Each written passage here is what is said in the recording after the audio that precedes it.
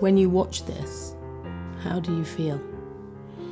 Uh, of course, I'm very angry. I'm very, very angry. That is very bad. The video shocked the world. Osama and his young son Zaid brought down by a camerawoman's foot. And there's you. Do you think it was an accident or on purpose? Baba Sokoi. Yes, yes, yes, yes.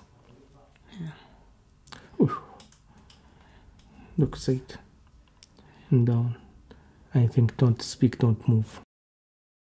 كنت أم، أبحث عن مكان أنا وابني أم، أمان بهذه المدافعة وال- والفوضى وحثت الحادثة أنه الصحفية المجرية عرقلتني وأذت ابني وكان في الحقيقة في إنزعاج كبير لأنه تآذى زيد وأنا تآذيت شخصيا يعني وكان يبكي بعد الحادثة شيء حوالي ثلاث ساعات وكان مريض جدا بعد الحادثة And when you say he's been injured, is it more physical or psychological?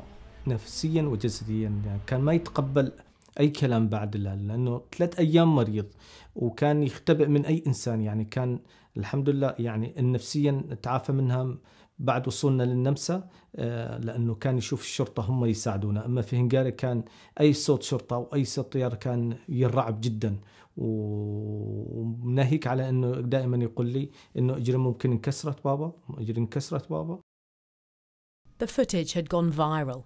The Hungarian camerawoman who tripped them appeared to symbolise Hungary's hostility to migrants. She apologised, saying she'd acted in self defence. She lost her job, but Osama was oblivious to the furore. حتى ما أعرف إنه عم يصورونا يعني ب- ب- بهذه اللحظة.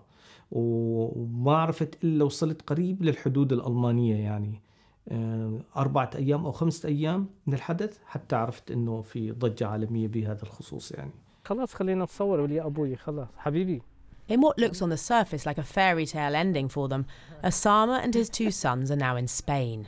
Global outrage led to a job offer for the Syrian football coach from a Spanish football club and an apartment.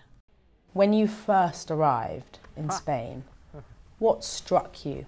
كل شيء مختلف في العالم الأوروبي عن العالم ال- الثالث آه، أول شيء آه، التفكير وحرية التفكير. هذا أول شيء يلفت الإنسان يعني عندما يقدم هنا. وأنا شخصيا هذا اللي لفت انتباهي.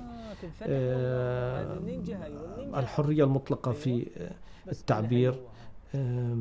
كونك إنسان حر آه، شيء جميل هذا. أيضا آه، تفاجأت بالاستقبال الإسبانيين إلي كان جدا جميل ورائع. زيد بالأساس يحب ريال مدريد ريال مد- ريال مدريد ورونالدو حصرا. يعني كانت مثل الحلم وتحقق يعني. لما نزل على الملعب هو ماسك في إيده ويطلع عليه مو مصدق إنه مع رونالدو هو فعلا. وكان حتى قلده في القفزة تبعه يعني من كثر مو مبسوط زيد آه، لهذا الحدث الكبير. شيء لا يوصف الحقيقة يعني. نانو شو اسمه؟ كريستيانو. بعد المباراة آه، أعطاه قميصه وانتظر اللاعبين اللي وقعوا عليه هو زيد رفض أي لاعب يوقع عليه فكان يقولوا له ليش يقولوا هم حسن رونالدو آه، وفعلا لما اجى رونالدو الوحيد اللي وقع له هو واحتفظ به وكان مبسوط جدا It, it's the first time I've been talking to you for a long time. It's the first time you smiled Yes. in the interview. This is a good story. زيد مهم. معقول ما تأخذني؟ There are reasons to smile, but it's not that simple. Osama's wife and two other children are stuck in Turkey to where the family first fled.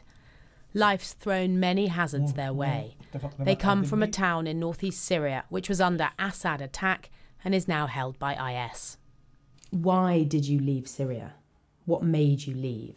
قرار كان صعب جدا ولكن اجباري لأنه كانت القذائف والنيران على مدينتي بشكل كثيف جدا وممكن تشاهد وانت ت- تروح تقضي اي حاجة في الشارع القتلى من النساء والاطفال حصرا المدنيين الحقيقة Britain has recently begun airstrikes against your country.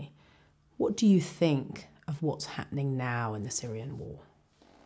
I think uh, that is uh, very bad the war in Syria uh, وأنا أتصور uh, أن فرنسا تورطت في الحرب مع روسيا وكان القتل آه، الحقيقة معظمهم المدنيين أطفال والنساء وأنا واثق من هذا الكلام وأنا أطلب من آه، الشعوب وليس من الحكومات أنه يتدخلوا في هذا الأمر ويطالبوا بوقف الحرب. أصفها بجرائم حرب لأنه آه، 90% من المقتولين آه، مدنيين حصراً.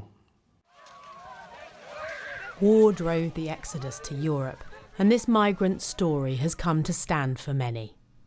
I read an interview with you from before where you said I would never, I could never forgive her.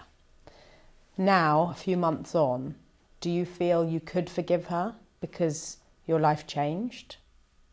Uh, of course, uh, I think uh, yes, because I now uh, forget this accident, uh, uh, and uh, I uh, looking for uh, future my family and my uh, fam- uh, future my uh, uh, son.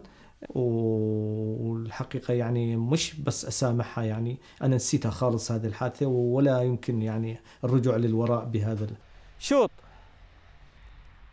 برافو For now, though, football's helped him maintain hope.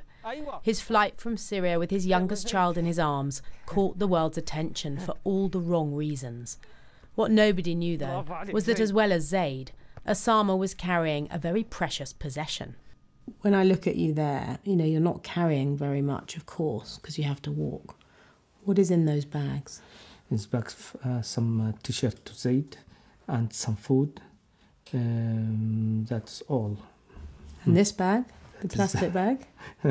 That I have football, my football. You brought your football yes, uh, all the way from ball, Turkey? Yes, from Turkey. Yes, from Turkey to Germany. You carried yes. it all the way? yes, Okay.